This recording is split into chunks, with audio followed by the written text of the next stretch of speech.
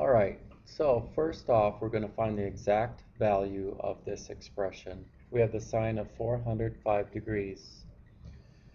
Well, first of all, we all know that 405 degrees is more than 360, so the first thing we want to find out is how much more. So we're going to subtract 360 from 405 and we get 45 degrees. So we have the sine of 360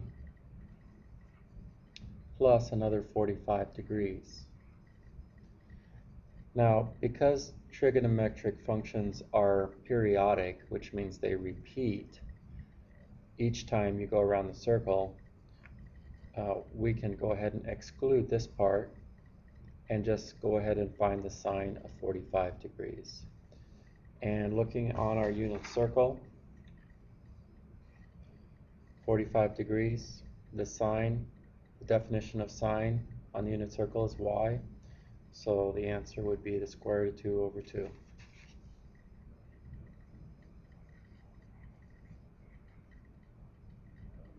Okay, let's do another example.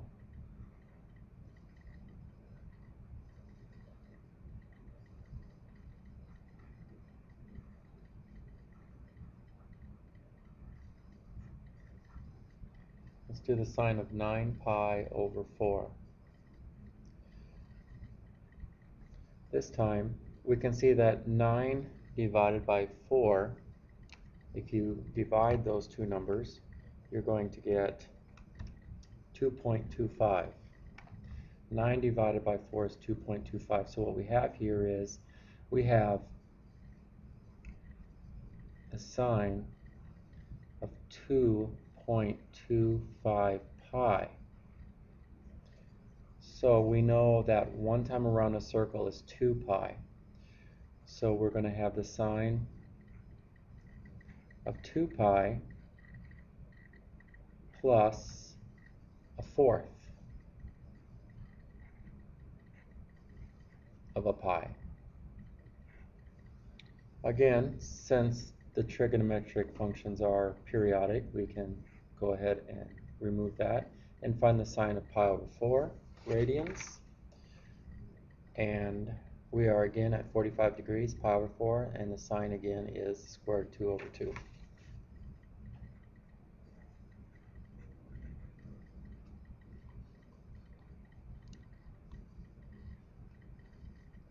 Alright, the next topic, find the quadrant of an angle. So they tell us that the sine of the angle is greater than 0 and the cosine of theta is less than 0. So what quadrant is this angle located in? Well, if you remember by definition, the sine of theta on a unit circle represents the y coordinate and we're looking for where y is greater than 0. So y is positive. So we're looking for where y is positive.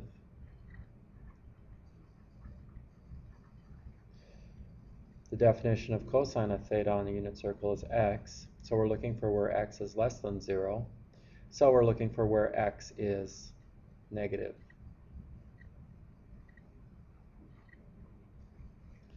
So where x is negative and y is positive. On our unit circle, if you're in the first quadrant, x is positive, y is positive. Second quadrant, negative, positive. And I believe that's what we want here. We want to know where x is negative and where y is positive. So we are in quadrant 2. And I spelled quadrant wrong. Okay, moving on. Okay, let's look at another example. Here we have the secant of theta is less than 0, the sine of theta is less than 0. I suggest you pause the video and try it for yourself. Well, the definition of secant is if we're on the unit circle, 1 over x. So in order for this to be less than 0, x would need to be negative. Okay?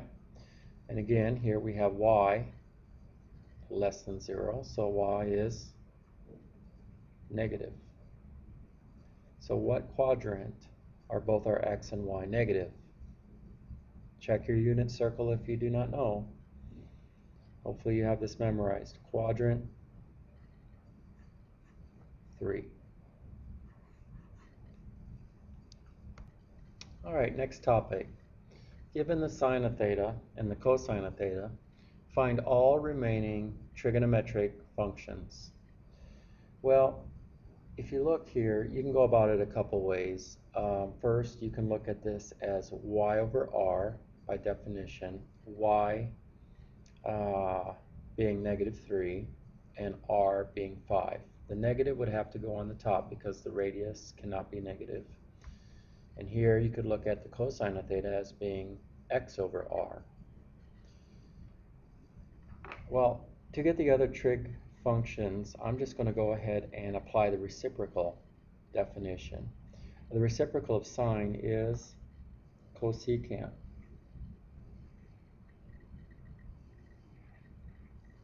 And basically, cosecant is the reciprocal of sine. So we have negative 5 thirds. The reciprocal of cosine is secant, and the reciprocal of 4 fifths is 5 fourths. Tangent, if you'll recall, the definition is y over x. So you can do this one of two ways. The easy way is take the y value, which is negative 3, and put it over the x value, which is 4. And we get negative 3 fourths. Or you can take this whole value and multiply it by the reciprocal of this value. Because remember, the definition of tangent is y over x.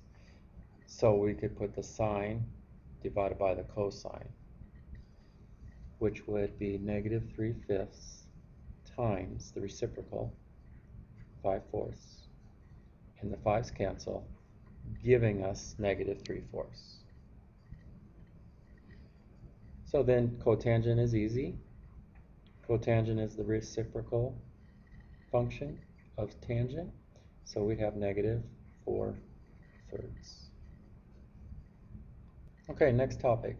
Given a trigonometric ratio and information about the location of the angle, find the other trig functions. So here we're given the sine of theta is equal to 12 over 3. Excuse me, 13. And we know that the angle is in quadrant 2. So the first thing you have to consider is in quadrant 2, x is negative, y is positive. That's important. Now, let's do the easy one first. Cosecant. It's going to be the reciprocal of sine. Okay, cosine. Well, to deter the definition of cosine is x over r. We are not on the unit circle. How do we know that? Well, the definition of sine is y over r. Notice y is 12, r is 13. The radius of this circle is 13 units. A unit circle is only one unit. So we know that y is equal to 12. We know r is equal to 13.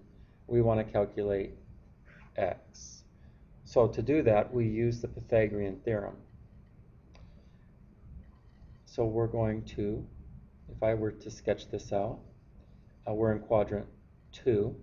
So if you could picture the center of our circle here, uh, we have a radius of 13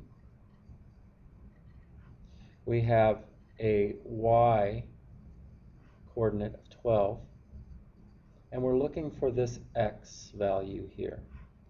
So what would we use to find x given this type of triangle? Correct, the Pythagorean theorem. So we would do x squared plus y squared equals 13 squared. Solving for x, we end up with when you take the square root of 25, we end up with 5.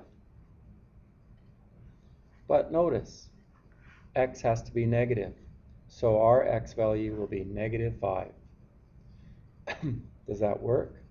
Uh, negative 5 squared is 25. 25 plus 144 is 169. So now we know x is negative 5. So we're going to put use our definition, negative 5 over our radius, which is 13.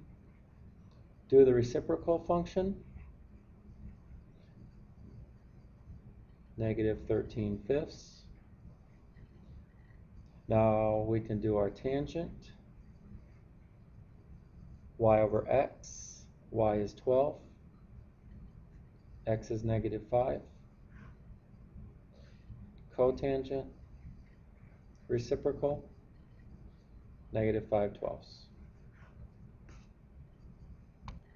All right, here's your assignment for you to start working on.